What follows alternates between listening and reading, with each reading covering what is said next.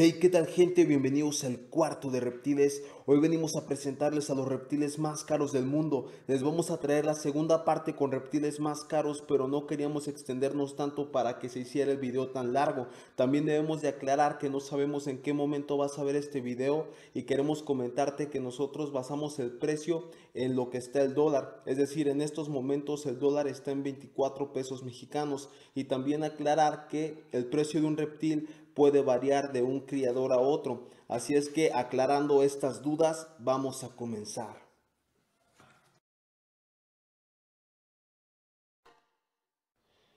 Y en el puesto número 5 nos vamos a encontrar con el Smaug giganteus, también conocido como el sonoro gigante, es uno de los reptiles más hermosos de la sabana africana donde se le suele encontrar en pequeños grupos y también suele confundirse mucho con el lagarto armadillo. Por lo que esta especie es muy cara es por la escasez de este en el mercado, ya que hace algunos años era más común verlo en terrarios particulares y también en expoterrarias, pero a causa de que había malos cuidados en cautiverio se fueron muriendo mucho y a partir de ese momento empezó a ser más escaso y más escaso, aparte de que también el comercio ilegal afectó mucho a esta especie. Si tú quieres llegar a conseguir un Smoke Giganteus, tendrás que pagar por él al menos 95 mil pesos mexicanos. Y si tú quieres hacer un proyecto con él, tendrás que comprarte al menos tres para que puedas hacer un plan de reproducción, ya que estos pequeños reptiles suelen vivir en grupos y el macho no va a tener una forma de poder reproducirse si no tiene por lo menos un pequeño grupo de dos hembras y un macho. Así es que por eso ponemos al Smoke Giganteus en el número 5.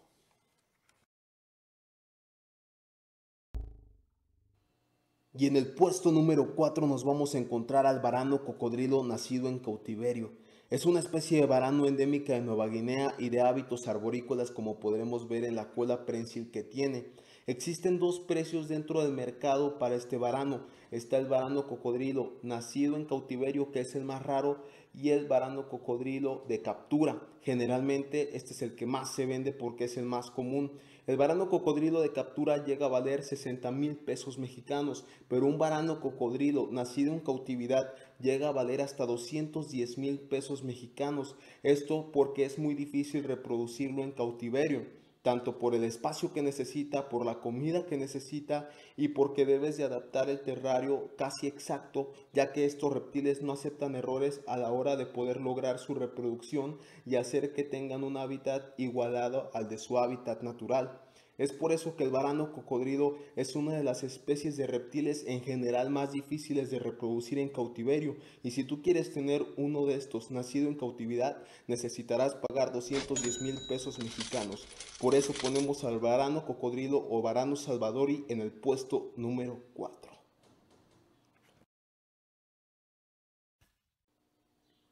Y en el puesto número 3 nos vamos a encontrar al Varanus varius. Esta especie es endémica de Australia y específicamente de la fase que voy a hablar es de la fase Bell. Ahora, primero, ¿por qué el Varanus varius llega a ser tan caro? Primero, porque es de Australia y como sabrán todos los reptiles australianos son raros ya que de un tiempo para acá Australia no hace importaciones de su fauna por lo que solamente los criadores que llegaron a tener algunas de sus especies. Antes de que surgiera esta ley son con las únicas personas con las que te puedes dirigir para tener ciertos reptiles australianos. Aparte de que la fase B es más cara que la nominal aunque si les soy sincero las dos fases son normales y pues no cambian mucho.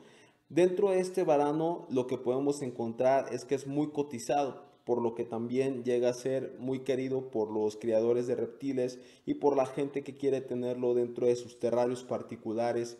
Eh, si tú quieres tener un Varanus varius en tu colección, vas a tener que desembolsar 216 mil pesos mexicanos. Aparte de que pues como sabrás, hay lista de espera y no cualquiera puede tenerlo tan fácilmente, ya que generalmente cuando están a la venta prácticamente ya están vendidos. Por eso ponemos al Varanus varios en el puesto número 3.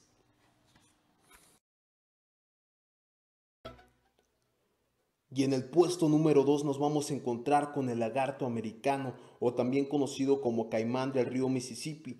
Es un alligator que llega a pesar hasta 500 kilogramos hablando de los machos. También Hay que mencionar su nombre científico ya que es Alligator mississippiensis y el por qué está en esta lista obviamente es por la rareza y por el costo que llega a tener. Para empezar, pues estos eh, alligators llegan a ser nacidos en cautiverio, hablando específicamente del albinismo que estoy hablando.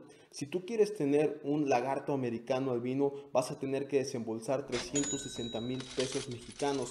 Ahora, hay que poner el contexto el por qué es tan caro este lagarto americano porque generalmente, no sé si se han fijado, no todos los reptiles es tan común que se dé el albinismo. Solamente hay ciertas especies donde es algo común o poco común que se dé cierto albinismo en ciertas especies. Incluso ustedes podrán saber que hay muchos reptiles en los cuales no se ha encontrado una fase albina hasta el momento, aunque todos tienen ese gen recesivo de que lleguen a tener el albinismo o que lo presenten con algunas de sus crías en futuras generaciones.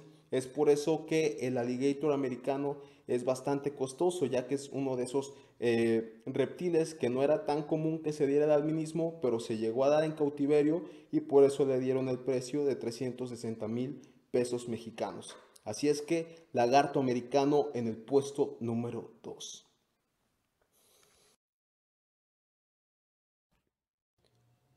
Y en el puesto número uno con la medalla de oro nos vamos a encontrar con el Varanus salvator albino.